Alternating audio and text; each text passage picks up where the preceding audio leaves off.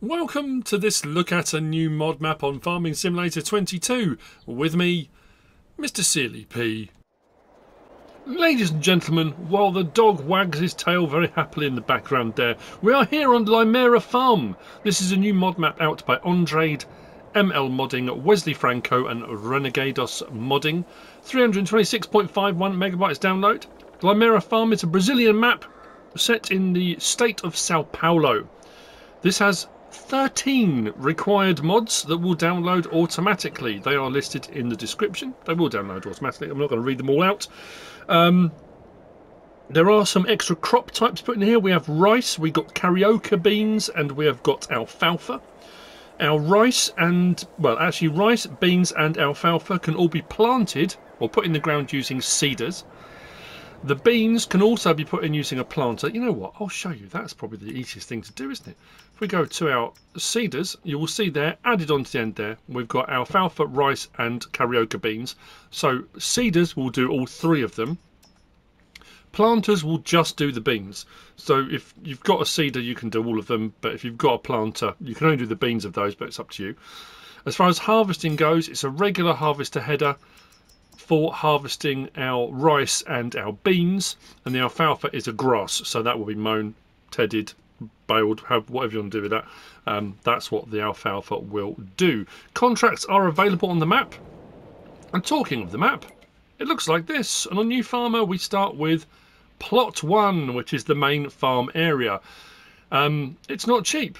It's 1,808,080 for that plot. So on farm manager and start from scratch um, your, farm manager should be alright. Start from scratch, you might need a bit more money.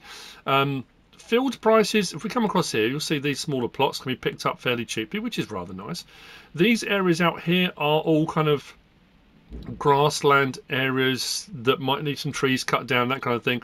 Those prices are a little bit more expensive. And then we've got the verges, the periphery, which takes in a lot of the main industrial area, sell point, and we've got some forest around the side and stuff like that. So if we click on that, 6,809,904 is what that will cost.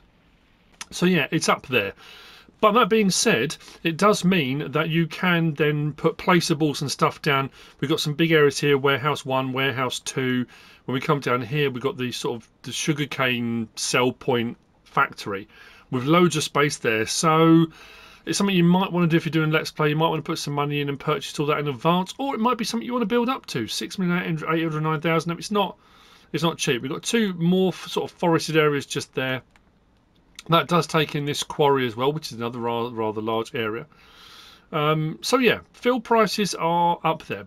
That said, the main farm, the main farm is a uh, it's an interesting one. I'm going to say that. Right, slot count. We'll talk about that straight away. So, new farmer, 1,193. You will start with all the buildings, all the machinery, all the equipment, and there's a fair bit of it.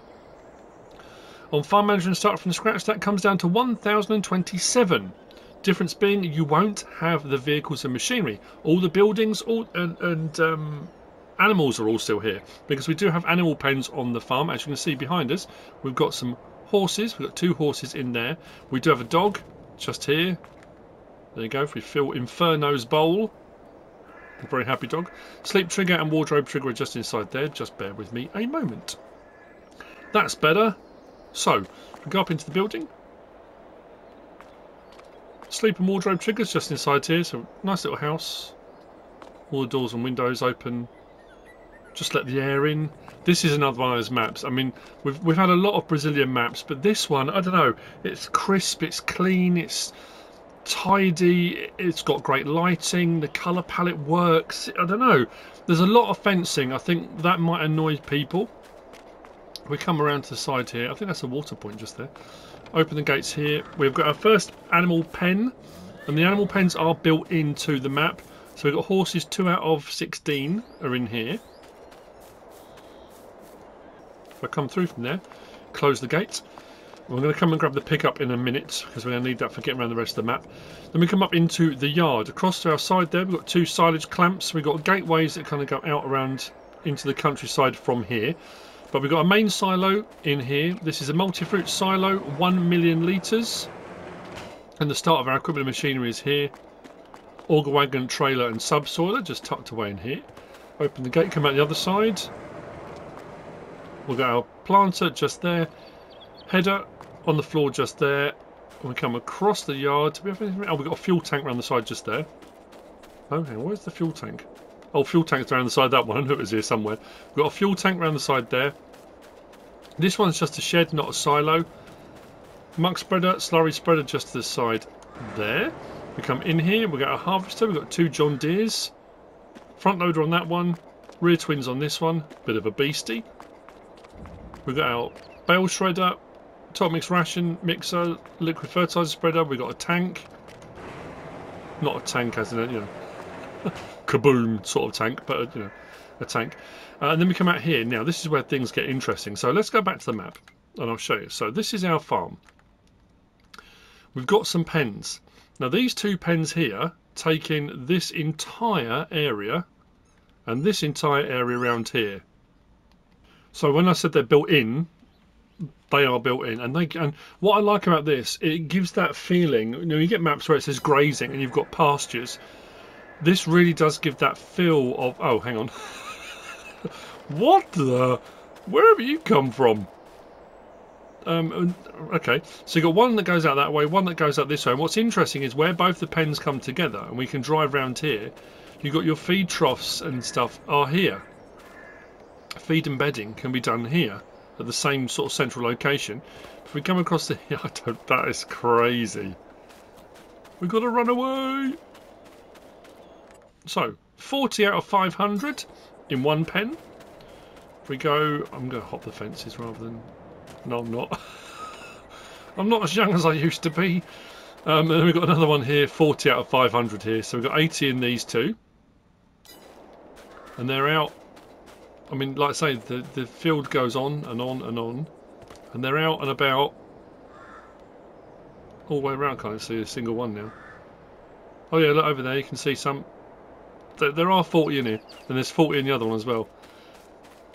Trust me. They are there. Looks Like I'm, I'm this this one just don't care now. Just chill out. Just ah, I'm out now. I finally made it. So I come along here, and then we've got the cow shed. So you can run however you want to do it, really. Uh, this one we've got, I think it's 20, was it in this one? 20 out of 200 in this one. As you can see, we've got different animals. So you can run beefers, you can run, you know, you could do it as as if you know when you have new births you could bring your new births into the barn here. Yes they all look the same on this map we haven't actually got calves but it, it could work. So yeah we've got 100 in total. As I said we've got silage clamps just here. That is the main farm. Putting into the silo is done inside taking out of the silo is done there the 1 million litre silo that we possess. Now we're going to grab the pickup because part of our land if we look at our land that spreads out, ranges all the way out. We've got this over here. So we've got another silo, a silo with covered hopper, and we've got a medium petrol tank over this side. So another farm on the hillside, which is part of the land you start with. That silo over there is a 550,000 litre. We'll whiz out that way because that's kind of the route round the map we're going to go. It does say there are collectibles. It says there are 20. I haven't encountered one yet. Um, I didn't talk about build mode, did I? Under the build mode, on top of the required mods, we've got Horse Pen, which I think is the one that's behind us just there. Um, we've got some paint textures and we've got some plants. Other than that, it's all pretty much standard. I've gone the wrong way, that's fine. Straight away, good start, isn't it? A map tour, wrong way. Lucky I don't do tours in real life? And over here, Oh no. Wrong place. Right. So, out from here, and you'll see the sort of the, the scale of the pens as we go out. And like I say, I, I like that. It, it gives that much more realistic feel of grazing, that the animals are right out there and just, you know, proper free range. There you go, look, there's some cows out here. All the way out here, look. I would say living the dream. They haven't escaped like the other one. That cow, best life. So, now like I said, these, the other side, these are not animal pens, but there is a lot of fencing. We've got a lot of gateways, a lot of fencing until you get onto the outer areas. You can see the trees and stuff. A lot of it would need some work if you wanted to, but it's got a very rugged feel to it. And, and I've said many times on map tours, and I've mentioned on this one as well, it has a very immersive, very real feel to it. It doesn't feel contrived. It doesn't feel set up. I don't know. I just the the way the land sort of things have been carved out of the landscape. So this is part of our farm. We've got some barn and shed space. We've got the 550,000 litre silo, more sheds. And this is what I'm talking about. It's kind of carved out of the hillside. And down there we've got a fuel tank and some more shed space down there. And we've got gateways that lead in and out of the various different large pen areas. So we're going to head north now. Now, of our start equipment, which we've just seen most of, we do own and start with a centre, a pivot irrigation system, is what we have. But the weird thing is, it's not our farm.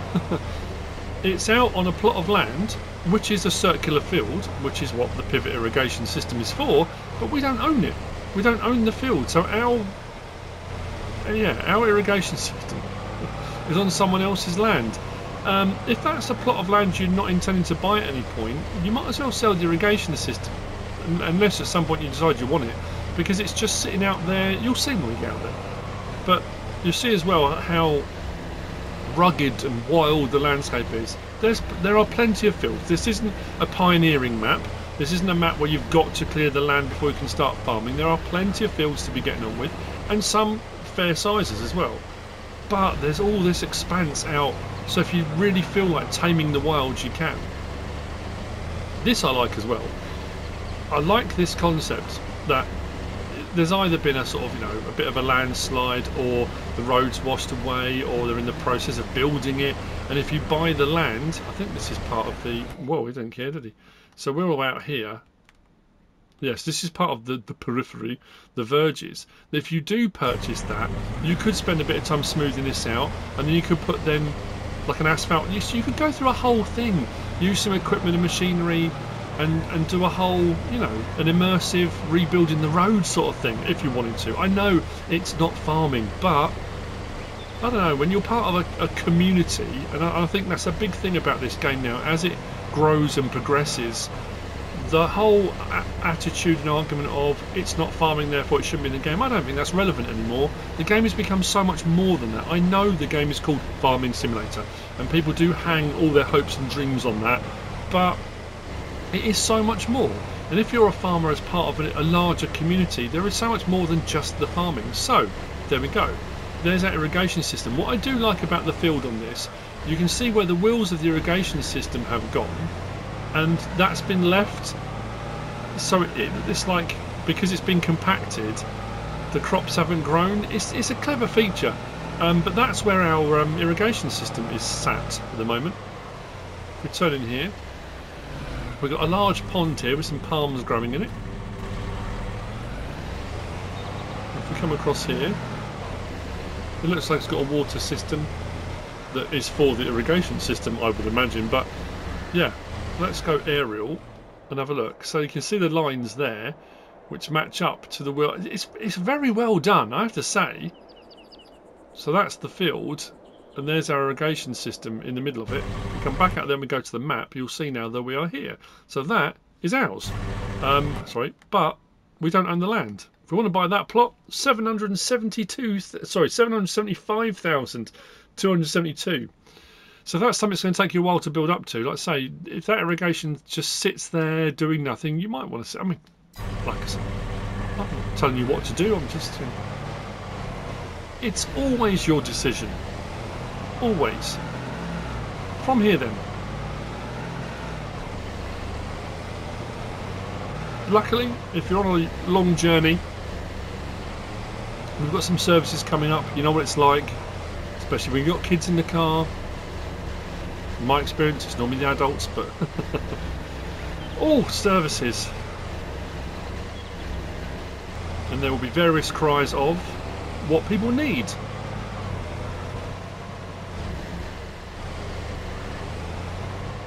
I could murder a cup of tea, that kind of thing. And the other you know. So, gas station off to our left. Vehicle shop. and workshop. This is the reset point on the map as well. The vehicle shop is inside the building you access from the front. The workshop is at the back, and when you buy vehicles, there's not actually. I'm going to show you. So, if, if we go inside to buy a vehicle, there's not actually an exit out to the back, which is where the vehicles spawn. So you actually have to go all the way around and back in. It's, it's, a, it's a minor thing, but you have to go all the way around to get to your vehicle. Unless you tab. If you tab, then that's you know, that's you. Directly across there, that's a sell point. That's for textiles. That's cotton and wool and that kind of stuff. It's not a spinnery. It is just textiles. We do have on here though some plots. If you buy the whole lot, you'll get some of these plots. So you've got some placeable areas. Um, but we have got some smaller plots included in a placeable area that can be purchased separately for less money. So if you want to put some bits on there, you might decide you want to put a house on there and go for a different style of, of let's play. You might start from the town and work up to a farm. That being said, that main farm is expensive. So it's that thing of, you know, would you... It will take you a long time to build up to it, but that might be something you enjoy. If we go all the way out here, it will take us to the animal dealer. It's just an animal dealer, there's no sell point out here, but again, if you've bought the land, there's nothing stopping you up on the flat sections up here or on this section up here putting in a production or another sell point or you know whatever you like. Is entirely to you. So animal dealer is up here.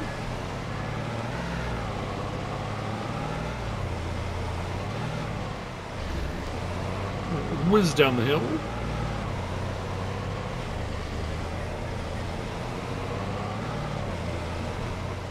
Make sure I go the right way. And then we go What's left, isn't it? Yep. And right, we've got a, an in sort of covered market. This is the fair sell point, just there. And then if we go along across the back of here, that's the textiles building. Turn in here, and then down here. We've got Bale Sales Point, which we're going to come to return left. So Bale Sales Point is just there. And you come right the way out to the end. Bit of construction going on. Pipe work being fixed to our right hand side. We're going to go past that again in a moment. It's uh, like a motocross track off-road course. Again, whatever you want to do with that is entirely up to you. Come right across this large area. This is what I was talking about this is massive expanse here. So for, for, for, productions and the sell points, plenty of space, but it is on that bit of land that's expensive. We've got a pig food buy station just there.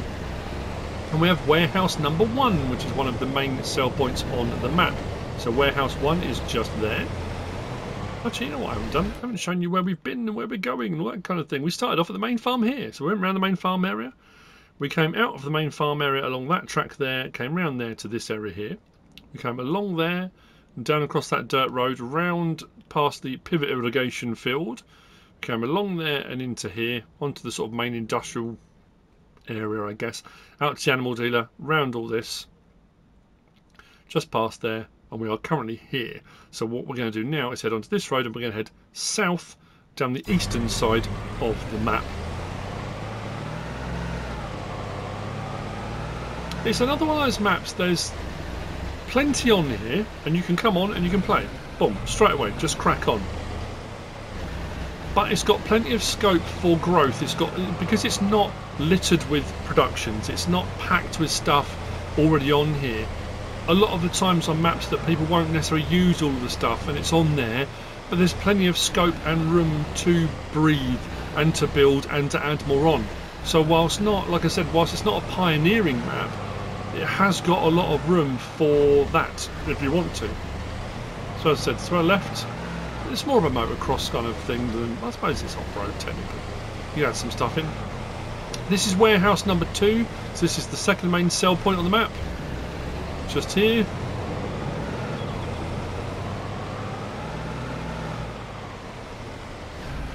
There's plenty of room out here, but I'm assuming this sort of area here is for larger articulated vehicles. You can drive straight through the middle or swing around the outside.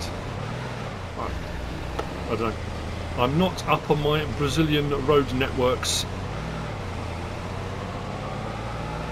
So sweeping up here, and that's what I'm talking about the landscape as well. It's picturesque. It's really well done. I like the layout. There's some really cool features on. It, it really does stand out. If we go up through there, it just takes out to the next section of fields. Let's jump to the map and I'll show you. So we're here. So up there just brings you out into this section of fields here, up the top. I mean, there's, there's plenty to be getting on with. And now we go down the other side, and this brings us towards the quarry. I'm not going to go right the way down into the quarry, we'll come into the top of it, but down the bottom of the quarry, there is a lime station down there, there is a debris crusher, so if you've got stones you want to sell them somewhere, again, there are tons of modded options in the, in the mod hub, so if you'd rather have a production that uses stones, you absolutely can, but again, if you own all this land, there's nothing to stop you putting in a quarry, putting in a ton of piling stones up and having it somewhere you can come and collect stones. But down the bottom of the quarry there, and again, it's it, it looks really good, it really does. So down the bottom there, lime station and debris crusher.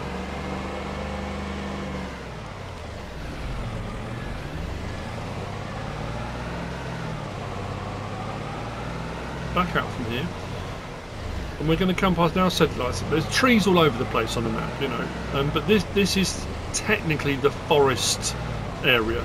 So for doing, I mean, what is proper forestry? But you know what I mean. So these are your forested areas for your more proper forestry. Much straighter, taller trees, easier for using tree harvesters. We've got our sections either side, which brings us down to the sugarcane plant. Again, massive open area, plenty of room for putting stuff out if you want to once you own the land. But as we come in through here, the byproducts of the process is here. To our right hand side we've got a slurry, big open slurry tank so we can come and buy liquid fertiliser. Or liquid slurry should I say. So that's a slurry tank which you can buy from. We come round here, you'll see just through the gap there, the blue icon, just through there. So that's Limeira Mill, that's the big mill sell point. If we go to here, we go to our sell points. So you've got our warehouses are our main sell points on here. Then you've got the fair, we've already seen that as well. Limeira Mill, so they go sugarcane. I think it's just sugarcane that comes to Limeira Mill. Yeah, pretty much. Um, so yeah, that's the sell point there. And then one of the other byproducts of the process would be the pulp stuff that comes out. So this is a manure buy point. So you can come and buy manure from here. So you've got slurry and you've got manure purchase points. Then we come round here and we've got a forestry sell point. So because the forests are right here, forestry sell point as part of the plant is all built in there. And that is the map. If we come back up, so we did our loop round, started at the main farm, came all the way up, all the way round, up the top there, through the industrial area, out past warehouse 1 and 2, down there past the quarry, through the forests, and out here to our sugarcane factory. All that open ground, all this to explore, to expand, to have fun with, to be inventive with.